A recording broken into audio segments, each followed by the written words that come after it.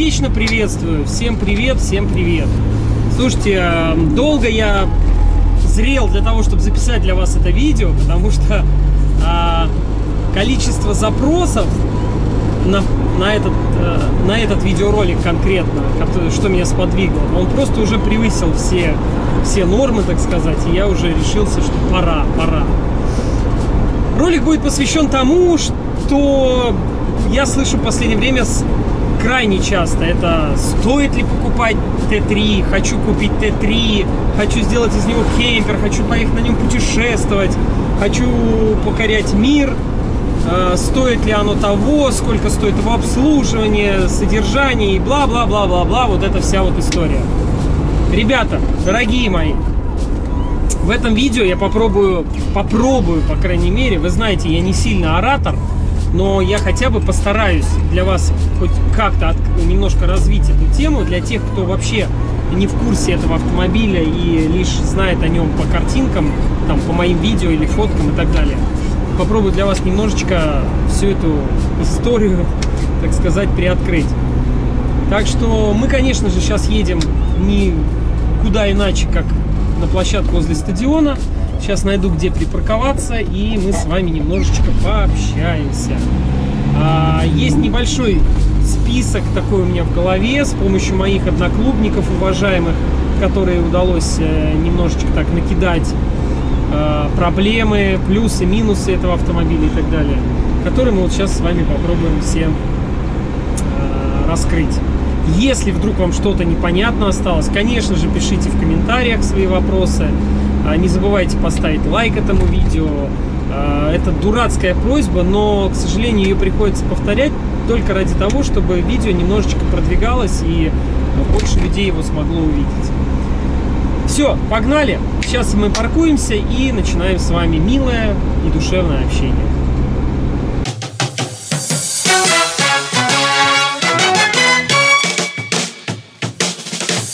Друзья мои, ну, пожалуй, первое, с чего стоит начать, это поговорить, наверное, на сегодняшний день, наверное, одна из самых актуальных э, проблем – это поиски этого автомобиля. Э, это даже не столько проблема, сколько машин-то, в принципе, на рынке предостаточно. Если открыть Авито наш или там любой другой ресурс э, по продаже, принципе, машины есть. Другой вопрос, как их выбрать, как выбрать лучшее, на что не напороться и тому подобное. Но как бы здесь однозначно есть несколько э, каких-то советов, которые можно дать. Но первое, что вы для, должны для себя решить, это зачем вам эта машина, для чего, что вы хотите от нее получить, э, какие эмоции, э, готовы ли вы к этому финансово в первую очередь. И э,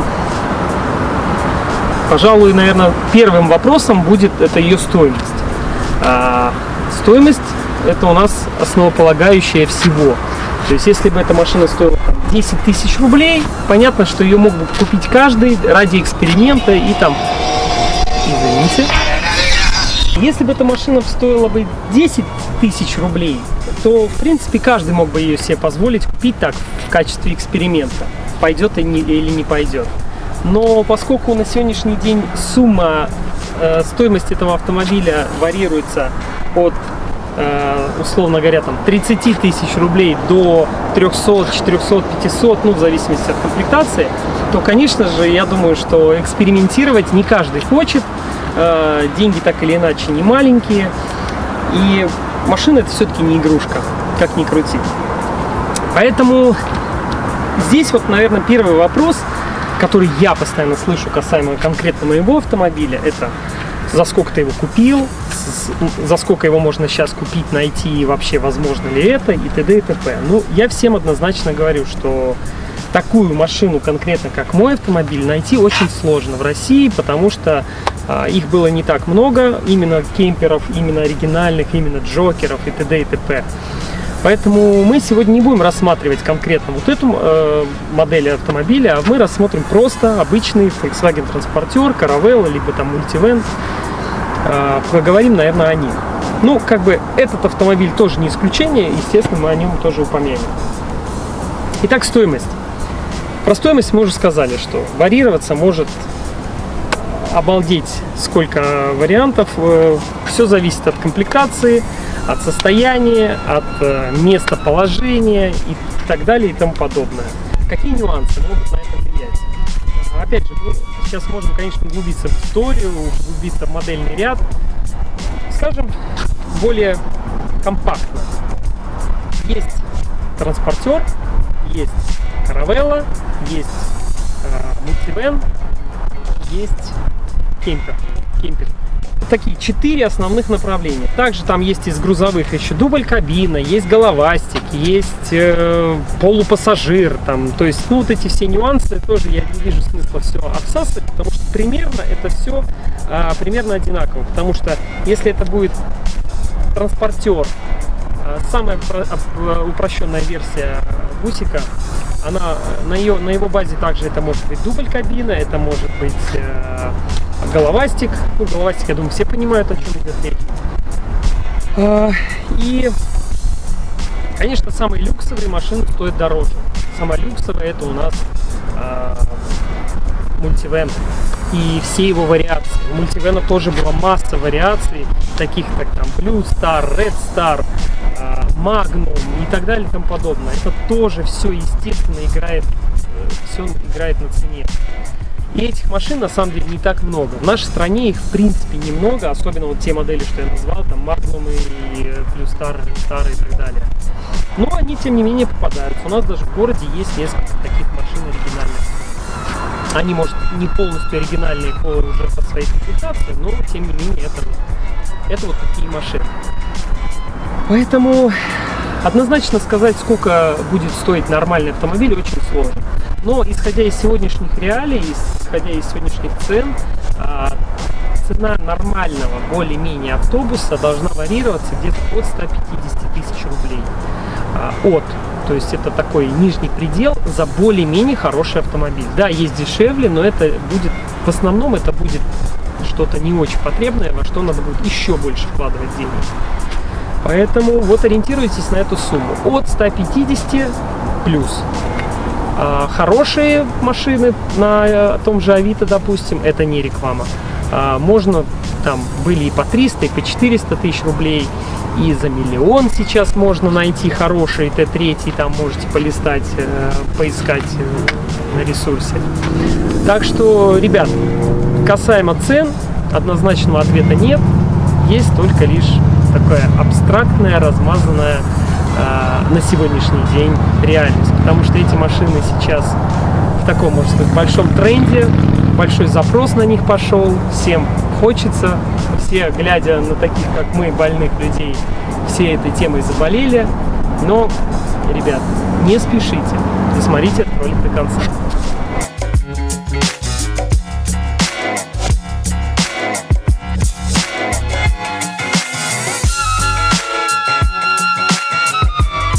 Пожалуй, э, следующим вопросом, э, скажем так, по значимости и по постоянности, это вопрос касаемо стоимости содержания этого автомобиля. Точнее, даже не так, а все хотят его иметь, ну как все, все, кто смотрит этот ролик, я надеюсь, но не все понимают э, всю степень, ну, скажем так, не, не прямо сложности, но не такой легкости владения данным автомобилем, потому что как ни крути, ему уже много лет, он уже перевалил за тридцатничек, поэтому, хотя нет, вру, еще тридцатничка нет, они шли до 92 -го года, да, то есть, ну, скажем так, основная масса этих машин, которые представлены на рынке, они уже перевалили за 30 лет. А, поэтому вы должны осознавать, что стоимость владения любого старого раритетного автомобиля, тем более не такого широкого массового э, потребления, особенно в средней полосе России, да и вообще в принципе в большой России, я так говорю, потому что я калининградец, и э, это сопровождается некими трудностями. В первую очередь это наличие запчастей, во вторую очередь это наличие запчастей. Хотя с запчастями, в принципе, проблем нет. Сейчас масса ресурсов, масса сайтов немецких, российских и прочих, где можно заказать те или иные запчасти. Но некоторые запчасти являются дефицитом даже на специализированных сайтах, даже на немецких. Поэтому такой тоже спорный момент. Вот. Содержание этого автомобиля с точки зрения ремонта, ну, вы знаете, честно сказать, э, более-менее терпимо. Не дороже, в принципе, любого другого автомобиля э, старого. Просто, я говорю, вот, наличие некоторых запчастей может вызывать трудности. Мы сейчас, я сейчас больше, конечно же, говорю про наш регион, потому что у нас, опять же, более-менее запчасти на эту машину есть. В большой России не везде есть такое, такая роскошь, скажем так, как большое наличие запчастей для Volkswagen T3. Но тем не менее, насколько я знаю, ребята твердят многие бусоводы из э, наших других регионов о том, что запчасти в принципе найти можно. Поэтому здесь тоже однозначного ответа, насколько это дорого или дешево. Во-первых, у всех это разное понятие.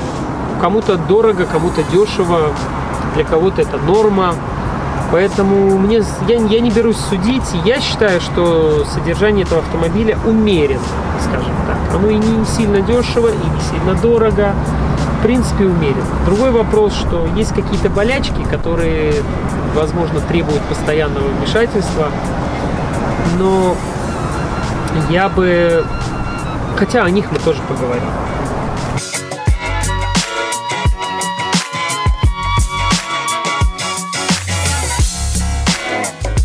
Больные места. Больных мест э, у этого автомобиля в принципе не так уж и много. А, и он, в чем его один из таких основных плюсов, это то, что он а, достаточно ремонтопригоден. В принципе, вы можете его починить даже на коленке, а, где-то в поле, если вы сломались. Но, опять же, все зависит от степени поломки. Допустим, вот совсем недавно у меня порвался патрубок ну, один из патрубков, э, по которому ходит антифриз. Э, патрубок достаточно редкий, в Калининграде его нет, приходится его заказывать э, на сайтах, его доставку. И стоимость этого патрубка оригинального, вот чтобы вы понимали, оригинальный патрубок предлагается за что-то там порядка 12 тысяч рублей, а китайский, он там порядка двух с небольшим тысяч рублей. Ну, конечно же, я взял китайский, потому что на оригинальный, ну, честно сказать, жаба душит. Не буду лукавить, жаба душит отдавать такие деньги за этот патрубок. Я думаю, что китайский проходит тоже нормально. Наверное, а, следующим таким пунктом из проблемных у этого автомобиля это, наверное, кузов. Наверное, кузов, потому что, как ни крути, опять же, машина старая, и ничего с этим не поделаешь. Как его не ремонтируют, да, его можно весь переварить от и до, все сварить заново, все новые панели на него наварить. Но сколько это все продержится, честно говоря, не ясно. Потому что я очень много общался с различными реставраторами, а, с разного, разного уровня реставрации машин.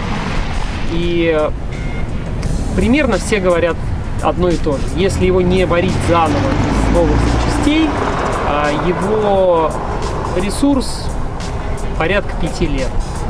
В моем случае прошло три года. Три года с момента ремонта полного кузовного.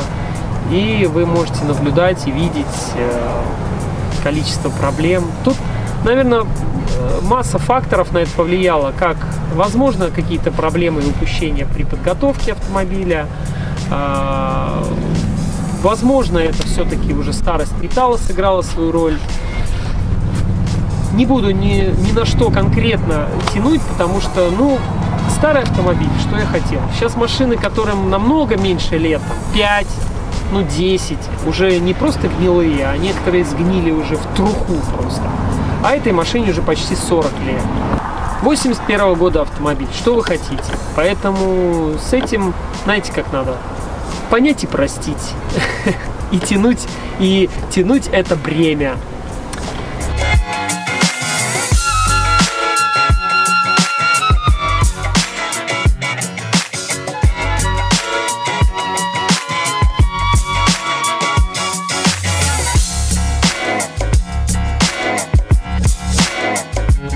Знаете, э, сегодня, в 2019 году, покупка такого автомобиля, это, можно сказать, э, такая авантюра, причем достаточно немаленькая.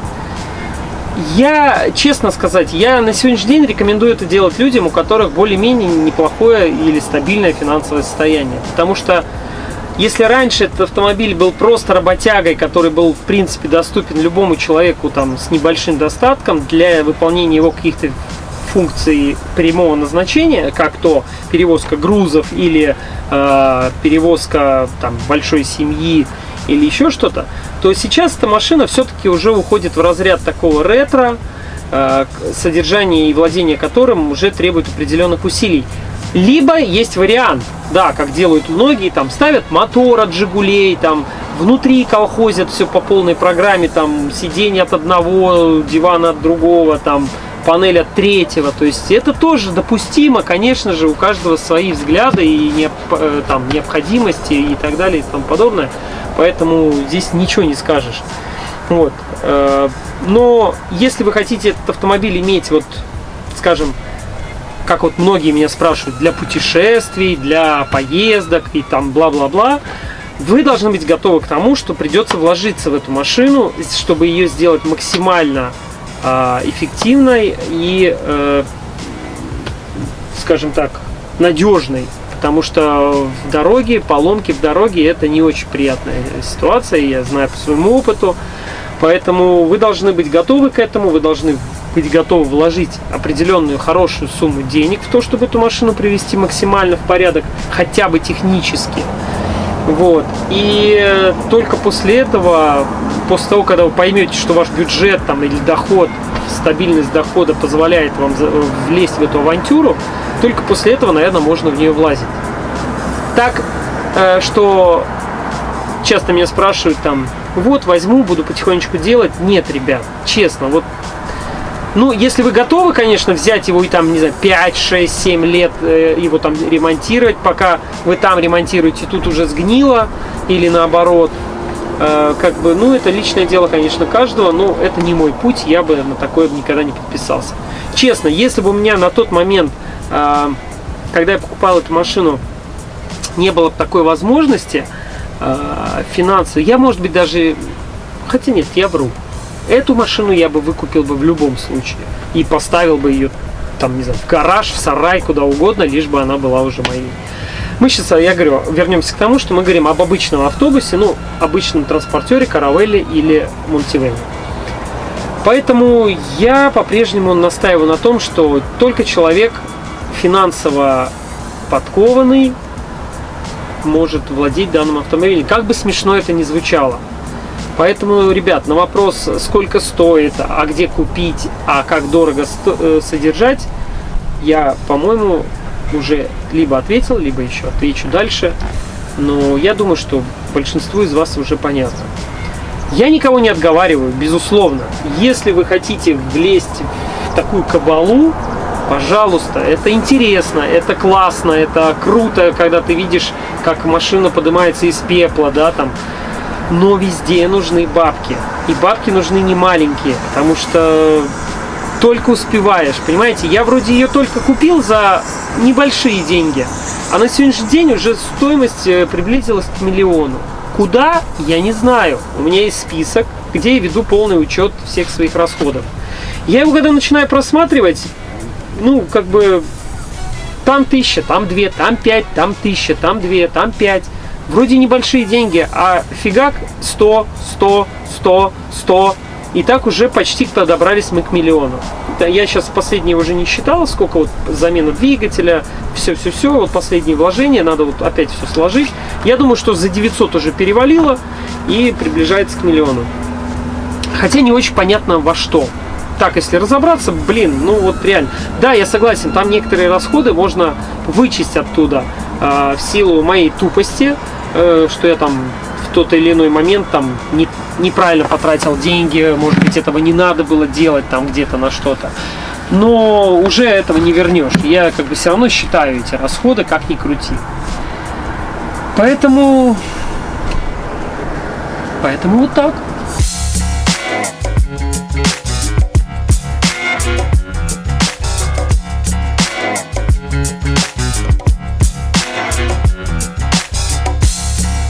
Ладно, что-то мы все о минусах, да, о минусах. Давайте хоть о плюсах поговорим. Безусловно, владение данным автомобилем это уже огромный плюс. Это офигенно круто. Честно, я когда заимел этот автомобиль и когда мне пришлось продать свой новый автомобиль, которому было всего три года, у которого было все вплоть до массажа пятой точки, я поначалу, конечно же, испытывал некий дискомфорт, но по прошествии времени, по прошествию того, как преобразов...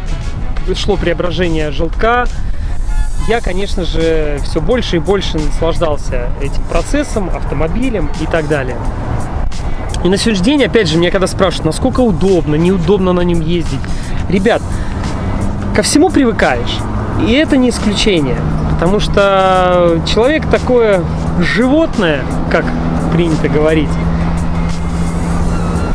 которое так или иначе привыкает э, ко всему. Это, знаете, как наше первое путешествие, когда мы поехали, мы в первую же ночь уже хотели возвращаться домой, потому что нам казалось, господи, как можно здесь жить в течение недели там, или месяца, как у нас изначально планировалось путешествие. Но ко всему привыкаешь. И на сегодняшний день вот отсутствие всех благ современной, современного автомобиля мне никак, ну, вообще ни холодно, ни жарко отсутствие там электрики, гидроусилителя. Вот, нет, не буду брать, гидроусилителя мне не хватает, потому что автомобиль у меня на повседневке, и э, по городу, конечно же, безусловно, мне не хватает гидроусилителя. Но решение уже найдено, и, скорее всего, на следующий год я его реализую. Вот. И вот этих всех нюансов остальных мне, в принципе, вообще пофигу, вот честно. Да, звезды, как говорят, наличие вот этих всех э, прелестей. Он очень мягкий, он очень э, вместительный, он просторный, у него классный обзор э, за рулем, он высокий, он э, достаточно простой по своей подвеске по, э, и, и, и надежный в то же время. Мы, кстати, я вот забыл упомянуть еще синхро. Ну, синхро это отдельная история, поэтому мы, опять же, не будем это рассматривать, потому что синхро это вообще другая тема. И я всем, кто меня спрашивает, покупать ли синхро или не покупать, я всем говорю, ребят, вот если с этой машиной надо быть финансово готовым, то с синхро надо быть, блин, втройне финансово готовым к этому. И при этом еще иметь желательно иметь прямые руки, не вонючие, как у меня, чтобы самому уметь ремонтировать этот автомобиль. Потому что синхро это другая история, это дорого, это очень мало запчастей, э, большую часть из которых чуть ли не с Америки надо заказывать. Поэтому про синхро мы тоже, это вот как бы отдельная история, мы ее не будем сейчас э, упоминать. Вот. Про плюсы. И, безусловно, в моем случае владение этим автомобилем это ну, масса позитив, положительных эмоций. Все на тебя смотрят, все тебе показывают большой палец, все на всех выставках смотрят, подходят, задают кучу вопросов, на которые я вот отвечаю в этом видео. Вот. И я от этого автомобиля прям в восторге. Я кайфую. Несмотря на все там поломки, какие-то проблемные места, и так далее и тому подобное, мне вообще на это на все глубоко пофиг. Иногда да, иногда опускаются руки, иногда я психую, иногда я хочу, блин, все бросить и ничего с ним не делать, потому что то одно вылезет, то другое вылезет, то третье, то четвертое. Ну, не знаю, я такой человек. Не, я не сильно привередлив, я спокойно отношусь. Я поездил на разных автомобилях, на дорогих, на дешевых, на роскошных. И я к машинам стал относиться максимально просто.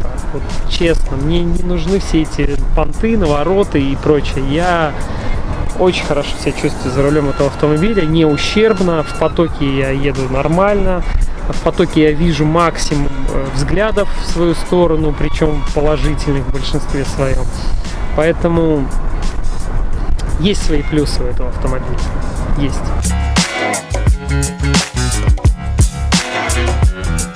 Ну что, ребят, давайте подведем итог.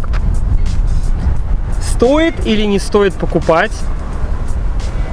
Насколько дорого владеть? И что надо для того, чтобы сделать из него кемпер? В первую очередь, как и все в нашей жизни, нужны бабки. И не маленькое их количество. Поверьте мне. Если вы хотите делать хорошо, вам нужны деньги. Если вы хотите ехать в путешествие на этом автомобиле, вам нужны деньги. Если вы хотите, чтобы он был красивым, ярким и привлекающим внимание, то вам нужны деньги. Если вы хотите внедорожную версию этого автобуса, то вам нужны деньги в двойном размере. Как бы это банально и тупо не звучало, да, как и на все в нашей жизни современной, нужны бабки. И достаточно немаленькое количество. Любое увлечение, любое а, увлечение ретро тем более, а тем более ретро-автомобилем, а, оно требует денег. И требует понимания этой философии. Потому что просто так по фану взять эту машину и типа что-то с ней попробовать сделать, ну, маловероятно, что кто-то на это идет. Здесь нужна определенная философия в голове. А, вы должны быть готовы к этим трудностям, к этим радостям. Поэтому тут сугубо дело за вами. Дело строго за вами и за вашими желаниями. Я не знаю, что еще можно, что я могу еще вам рассказать про этот автомобиль и показать. И все, что я упустил, возможно, и какие-то вопросы зависли в воздухе, вы, конечно же, я по-прежнему говорю, можете написать все в комментариях. И давайте пообщаемся на эту тему. И не забывайте подписываться на мой инстаграм, смотреть мои видосы и ставить лайки. А пока-пока. Всем мир.